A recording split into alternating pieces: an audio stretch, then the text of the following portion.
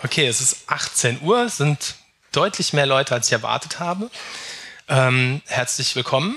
Ähm, der Vortrag heißt Livestreaming. Quadratisch praktisch gut ist der Untertitel. Meine Freundin hat gesagt, das, was du da gemacht hast, ist doof. Äh, nimm irgend so einen Dreisatz irgendwie. Und ich so, ja, so wie bei Rittersport oder was, genau. Das hätte jetzt geändert werden müssen im Laufe der letzten Woche. Das wurde es nicht. Also da stand eigentlich Livestreaming aus Leidenschaft. Ich weiß nicht, was ihr grauenhafter findet. Okay, mal über mich. Ich bin der Sebastian Greiner, Sepp genannt. Ähm, ich habe einen Master in Informatik. Ich war zehn Jahre IT-Consultant und bin seit zwei Jahren mit meinem eigenen kleinen Livestreaming-Service selbstständig. Ich bin über Twitter, E-Mail und äh, so erreichbar. Und prinzipiell wollte ich euch ein bisschen was erzählen über meinen Werdegang, was ich mit Livestreaming gemacht habe. Ich wollte aber auch nicht irgendwie groß technisch hier auspacken, weil im Endeffekt ähm, wäre das ein bisschen Eulen nach Athen tragen. Ich sehe gerade, ich bin nämlich hier die Testperson für den Livestream heute, dass das schon mal morgen auch funktioniert, wenn hier mehr Vorträge sind. Ähm, und äh, der CCC macht ja selber gerne Livestreams, also fange ich einfach mal an und lege los. Ähm, 27.11.2011, Status meines Livestreaming-Engagements. Was ist passiert? Äh, ich war Mitglied in einer Partei, äh, Farbe Orange, kennt vielleicht der eine oder andere noch die sind jetzt irgendwo unter ferner Liefen. Und äh, ich war aber damals sehr begeistert, weil Netzpolitik und so gedöns und äh, überhaupt Privatsphäre und alles. Und Partizipation war auch ein Stichwort bei dieser Partei. Und dann gab es eben einen Streaming-Service, ähm, wo man innerhalb der Partei Streams machen konnte. Und dann wurde mir gesagt, ihr habt doch nächste Woche Oberbürgermeisteraufstellung, macht doch da einen Livestream kein Plan, wie das geht. Habe ich mir einen USB-Stick besorgt bei Amazon für 14 Euro. Ähm, hatte irgendwo noch einen Camcorder gefunden, den hatte ich mal für einen Urlaub gekauft. Da waren auch noch Tapes vom Urlaub drauf. Ich glaube, ihr kennt das, man filmt im Urlaub und hat dann irgendwie Material, was man dann schneiden möchte in den nächsten zehn Jahren.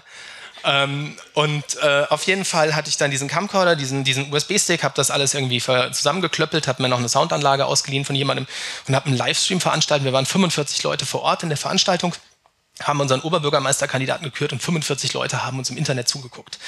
Das klingt jetzt irgendwie traurig, aber ich fand es total geil. Ich fand es äh, super cool, dass irgendwie so ähm, einfach Leute Interesse daran hatten, was wir da für einen Unsinn gemacht haben, sich eingeklinkt haben, Rückmeldung gaben und äh, deswegen habe ich einfach gesagt, das möchte ich weitermachen. Und dann habe ich äh, direkt, ich war damals, wie gesagt, IT-Consultant, freiberuflich, ähm, hatte dann ein bisschen Kapital und habe dann einfach gesagt, oh, ich kaufe mir jetzt Kameras, irgendwie mal so geguckt, was passt denn da? Äh, man sieht, dass ich dann auch gleich so vom Basteln her natürlich, äh, waren erst irgendwelche HDMI-Input-Karten und dann habe ich direkt auf dieses SDI gewechselt, auf den Kameraanschluss direkt mal weiter gewechselt mehrere Kameras, alles Mögliche ausprobiert, einen Riesenspaß gehabt. Ähm, Softwaretechnisch habe ich mir dann äh, Wirecast ausgesucht, weil das war so für den Mac damals die Software der Wahl, also so die, die käufliche Software, da gab es auch schon OBS, aber ähm, so für professionelles Livestreaming war das eigentlich eine ordentliche Sache.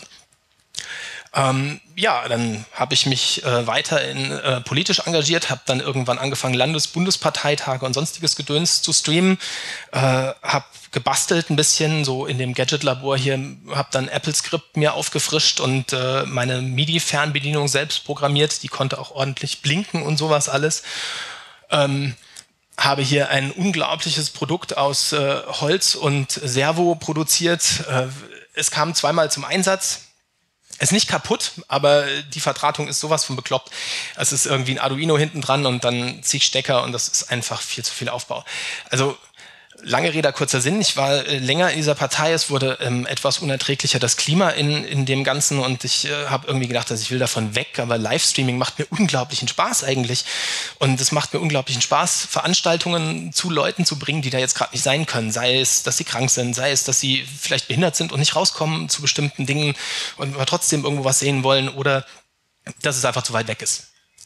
Also das hat mir einfach Spaß gemacht. Und deswegen habe ich dann ein neues Engagement gefunden. Der Webmontag in Frankfurt, den ist der Videomann weggelaufen. Daraufhin äh, hatte jemand gesagt, hier fragt doch mal den Sepp. Und dann haben wir uns auf eine Tasse Kaffee getroffen. Und dann hieß es, ja, wir brauchen eigentlich nur Aufzeichnungen und sowas von unseren Veranstaltungen und so ein bisschen so geschnitten. Und kannst du sowas machen? Und ich so, ja klar, aber nur mit Livestream. Okay. Das mache ich jetzt seit viereinhalb Jahren ungefähr. Den Livestream vom Webmontag in Frankfurt, das war zeitweilig zwölfmal im Jahr, jetzt ist es nur noch sechsmal im Jahr.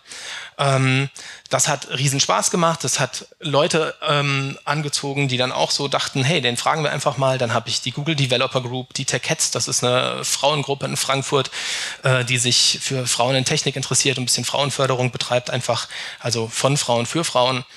Ähm, da habe ich eben auch gestreamt. Da ist der Sinn vom Livestream zum Beispiel, wenn du als Mann dorthin möchtest, brauchst du eine Frau in Begleitung. Äh, wenn du jetzt keine Frau hast, kannst du aber den Stream gucken. Ähm, und äh, habe noch diverse auch äh, Piraten, ach jetzt habe ich es doch gesagt, scheiße, äh, Veranstaltungen gestreamt. Hatte aber mit diesen ganzen Tech-Streams eigentlich einen Riesenspaß. Ähm, das Witzige ist über den Webmontag, ähm, ich war, wie gesagt, dieses IT-Consultants-Gedöns, ähm, habe ich dann keinen Job gefunden, wenn man selbstständig ist. Wenn man drei Monate keinen Job hat, Job hat ist alles okay.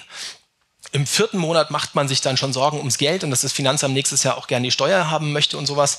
Ähm, Im fünften Monat war ich dann sehr froh, dass über den Webmontag ich jemanden gefunden habe, der mir einen Job vermittelt hat und ich in eine Festanstellung gekommen bin. Das fand ich total cool, unbefristeter Arbeitsvertrag und so.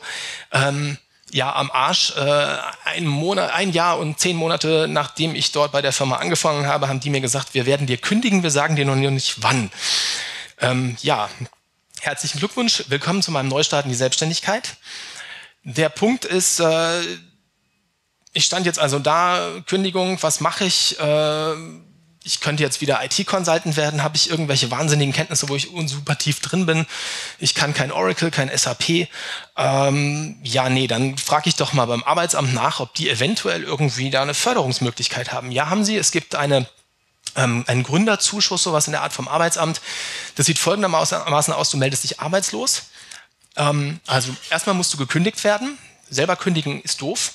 Ähm, dann äh, sperren sie dir trotzdem das Arbeitslosengeld. Das machen sie immer irgendwie, ja, also weil, weil man kann ja, man hat auf jeden Fall irgendwas fristmäßig falsch gemacht. Irgendwo kam man um die falsche Uhrzeit an.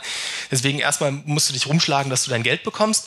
Dann bist du also beim Arbeitsamt und dann sagen die dir, oh, fördern, okay. Machst einen Businessplan und dann kriegst du sechs Monate Geld, sechs Monate Arbeitslosengeld. Ähm, und kannst dabei arbeiten. Du giltst schon als selbstständig. Nach den sechs Monaten musst du halt gucken, wie es läuft. Es ist jetzt für eine Firmengründung eigentlich nicht so der Knaller, aber durch den ganzen Kram, mit diesen ganzen Tech-Talks und mit dem Webmontag und allem, was ich da gemacht habe, habe ich tatsächlich einige Leute gefunden. Ähm, ganz besonders bedanken möchte ich mich bei Flink. Das ist eine Carsharing-App und die fanden das irgendwie total super, Flink-Werbung einzublenden in Livestreams. Die haben nach fünf Livestreams festgestellt, dass ihnen das überhaupt nichts bringt und dass die Einschaltzahlen viel zu gering sind und deswegen haben sie das wieder sein lassen. Aber in dem Moment war dieser eine Auftrag, der da kam, der hat mich übers Jahr gerettet und das war einfach für mich eine ganz tolle Sache und das Networking hat dann eigentlich soweit ganz funktioniert und ich stehe jetzt immer noch hier nach über zwei Jahren und äh, ja, ich lebe noch, ich habe noch eine Wohnung und das ist alles okay. Es ist also eigentlich ganz schön, ich freue mich. Ich habe ein paar Learnings gemacht in diesen zwei Jahren. Ähm, bitte? Ja, ja. Ich habe ein paar Dinge gelernt in den letzten zwei Jahren.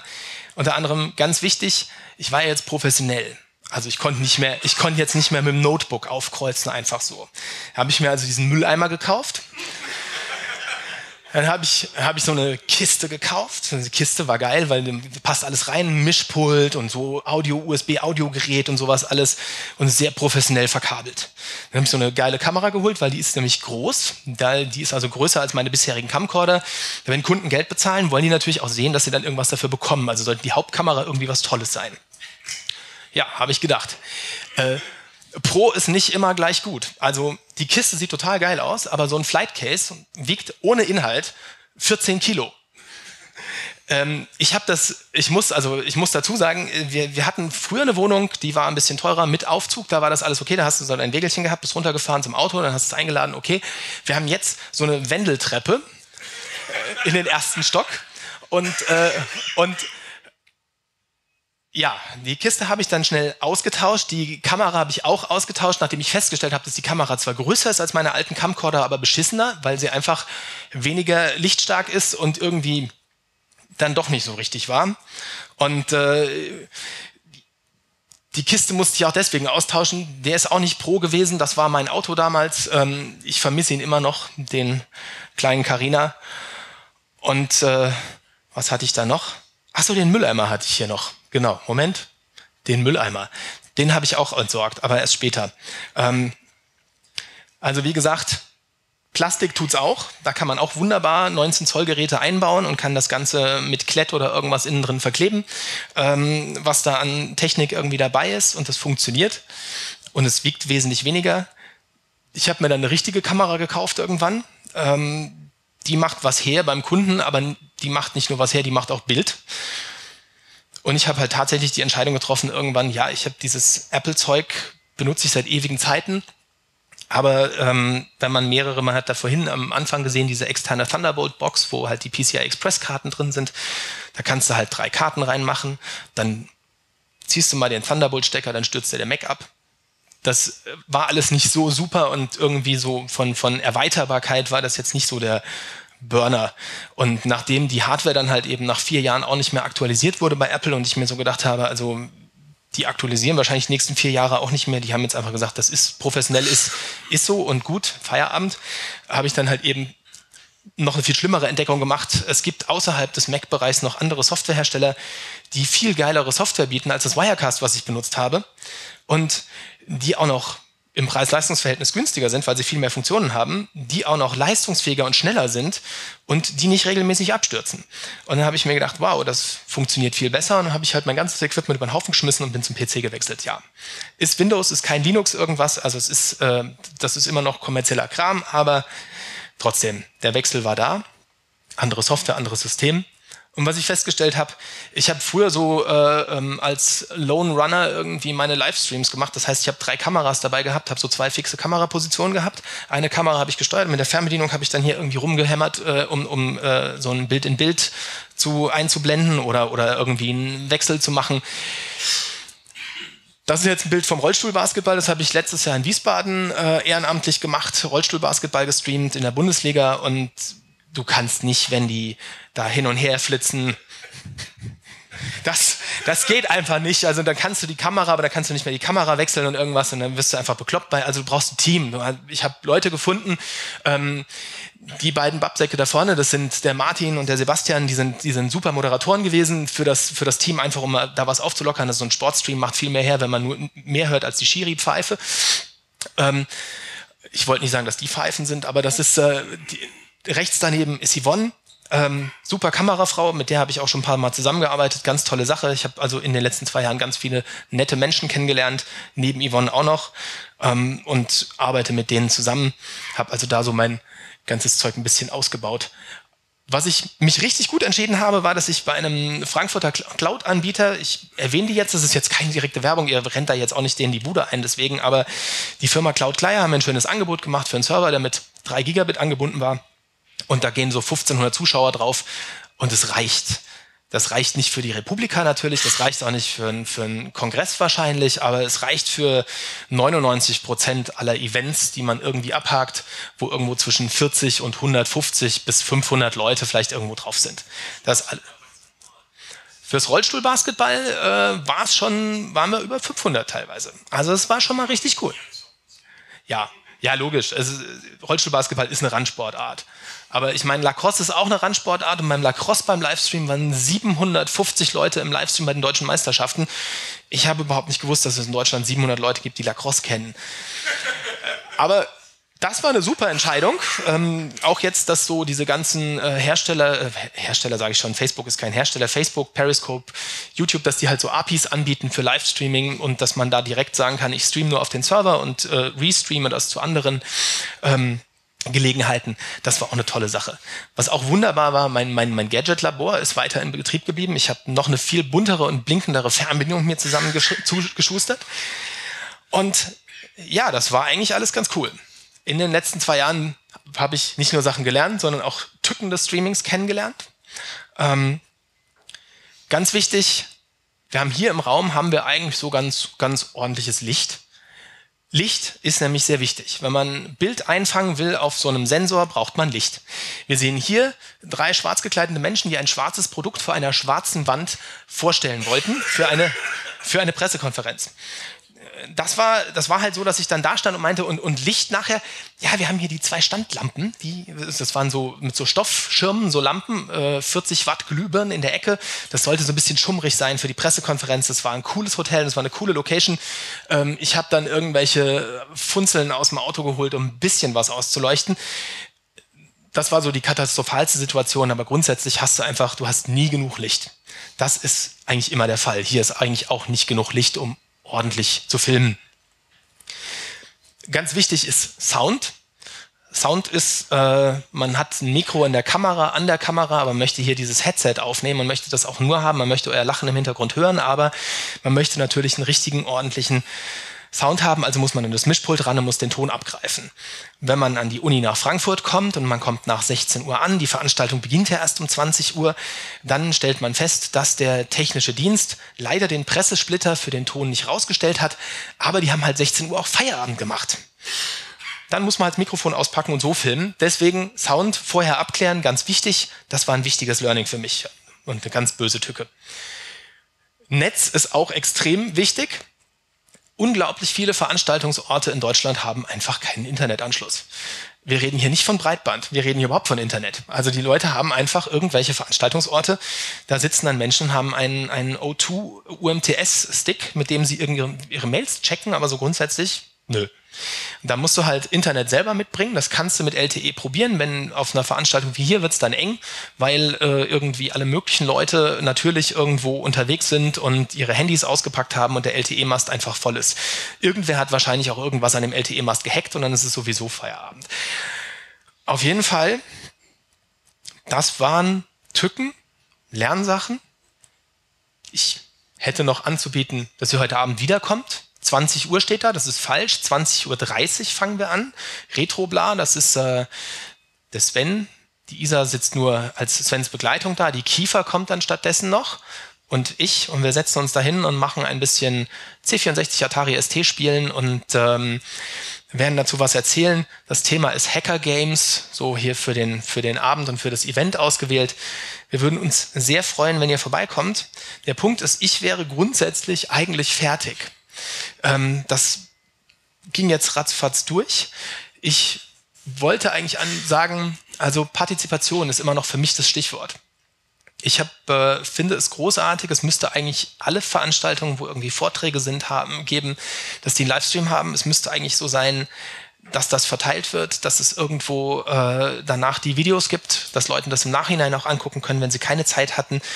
Und deswegen, also ich werde, ich habe nicht die Zeit, mich unbedingt im Streamteam des CCC zu engagieren, aber ich stehe gerne zur Verfügung für Fragen oder ähnliches. Wenn ihr jetzt hier Fragen habt, gerne. Wenn ihr irgendwie spezifische Fragen zu Livestreaming habt und erinnert euch, da war doch dieser Typ, ähm, dann schreibt mir einfach irgendwie von mir aus auf Twitter eine E-Mail oder sonst was und ich bin gerne bereit, einfach mal Rede und Antwort zu stehen und behilflich zu sein, dass ihr irgendwo live gehen könnt. Ja, das würde mich freuen. Das war's eigentlich schon. Vielen Dank.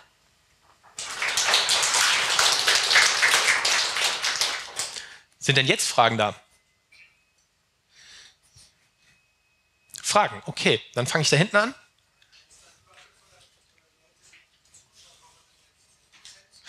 Okay, ah, das Ding mit Pete's Meets Sendelizenz und Gedöns. Nein, nein, nein, nein, nein. Es ist, es ist ganz, ganz, ganz grauenhaft. Also erstmal, was, was total der Hammer ist, das sind Regelungen in diesem Rundfunkstaatsvertrag, die stehen da seit ewigen Zeiten drin die hat kein Mensch jemals angewendet in den letzten Jahren. Die haben keinen interessiert. Ähm, grundsätzlich ist da immer irgendwo eine redaktionelle und journalistische Arbeit mit, inbezogen, mit einbezogen. Grundsätzlich geht es eigentlich darum, dass das regelmäßige Sachen sind. Und grundsätzlich steht da auch irgendwo was drin, dass man das so interpretieren kann, dass das eigentlich ein 24-7-Programm ist. Also wenn du mal mit Twitch live gehst und irgendwo deinen Gaming-Stream machst, selbst wenn versehentlich 501 Leute draufkommen, ist das kein Problem. Diese 500 Leute beziehen sich nämlich, jetzt kommt's, nicht darauf, dass 500 Leute zugucken, sondern darauf, dass du eine Infrastruktur verwendest, über die du 500 Leute erreichen kannst. Und wenn ich jetzt über meinen Streaming-Server sende, könnte ich theoretisch schon eine, könnte mir jemand sagen, wenn ich jetzt 24-7 ein redaktionell aufge, aufbereitetes Angebot in irgendeiner Form hätte, dann könnte mir schon jemand sagen, das wäre eigentlich ein Rundfunk. Ich meine, das ist totaler Quatsch, aber es ist halt, es ist halt einfach der Punkt. Nur ähm, deswegen auch wenn du 15 Zuschauer auf Twitch hast, du kannst auf Twitch ja theoretisch Hunderttausende erreichen. Also wenn du 24-7 auf Twitch mit 15 Zuschauern sendest, könnte die Landesmedienanstalt sagen, ja, es ist ja schön und gut, dass du immer nur 15 Leute im Stream hast, aber du könntest Hunderttausende erreichen, deswegen brauchst du eine Rundfunklizenz. Dazu gibt es halt auch nur zu sagen, das wäre, ich wäre damit voll zufrieden. Eine Rundfunklizenz würde ich auch sofort beantragen für mein Unternehmen, dass ich meinen Kunden sagen kann, ich habe eine Rundfunklizenz und wir können, kommen gar nicht in so Schwierigkeiten. Ähm, der Punkt ist nur, es gibt ja überhaupt keine Regelung für eine Rundfunklizenz. Es gibt, also es gibt schon Regelungen, aber es gibt ja überhaupt keinen Ansprechpartner bei der Landesmedienanstalt, der sagen kann, guten Tag, ich hätte gerne eine Rundfunklizenz. Dann sagen Sie, hier ist das Formular, da unterschreiben Sie und dann sagen Sie 599 Euro für Ihren Dings und dann haben Sie eine Rundfunklizenz. Da steht bei, bei golem.de und bei allen, das haben Sie, ich weiß nicht, wer von wem das abgeschrieben hat, diese Zahlen, aber da stand halt in den Artikeln immer, eine Rundfunklizenz kostet zwischen 2.000 und 12.000 Euro. Was ist denn das für eine Aussage? Also ich meine, ich kann doch nicht, ich, also entweder kostet eine Rundfunklizenz 5000 Euro oder die kostet 500 Euro, aber die kostet nicht zwischen 2 und 12.000, ohne, ohne jegliche Regulierung, was damit gemeint ist.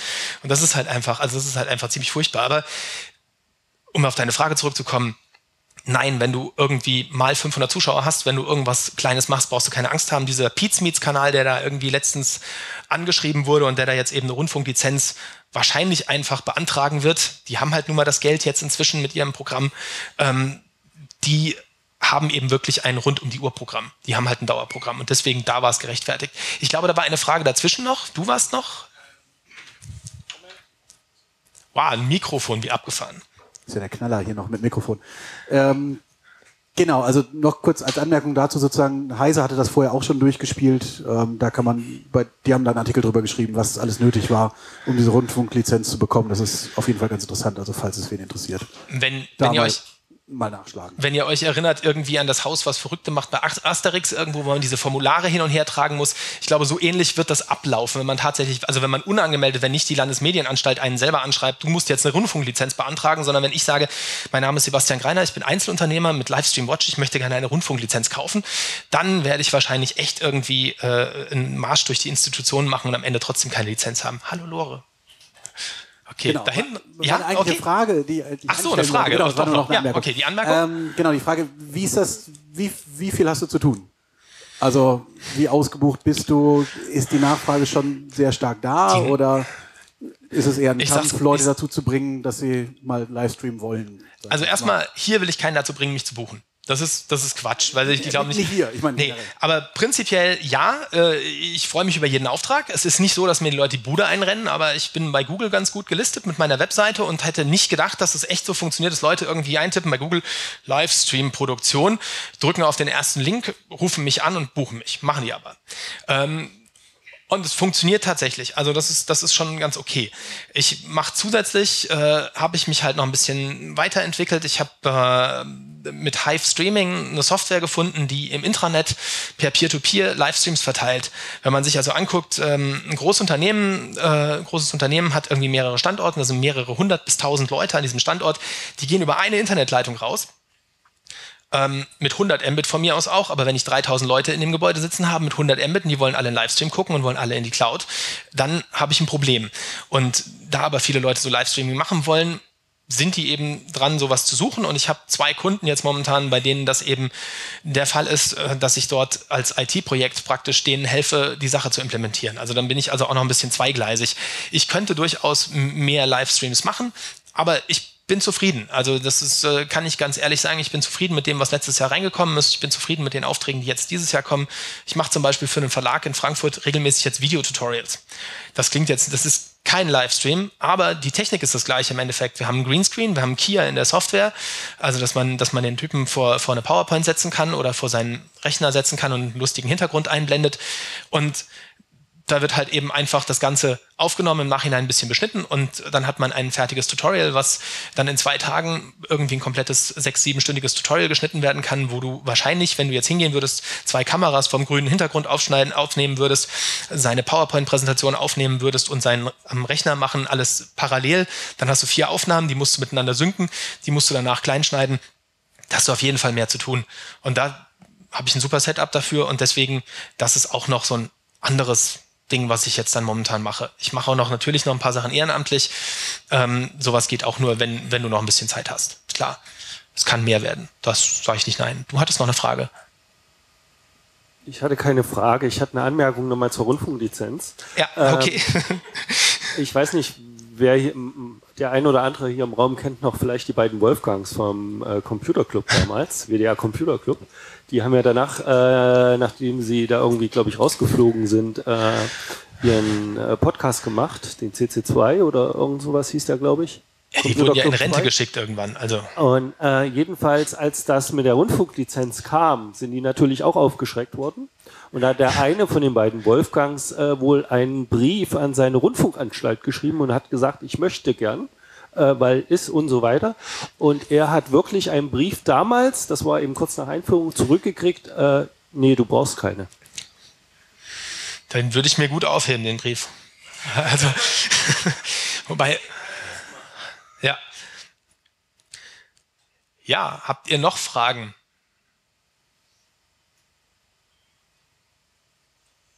Sieht nicht so aus. Wie gesagt, Kontaktdaten sind da. Ihr könnt euch gerne melden. Okay, Dankeschön.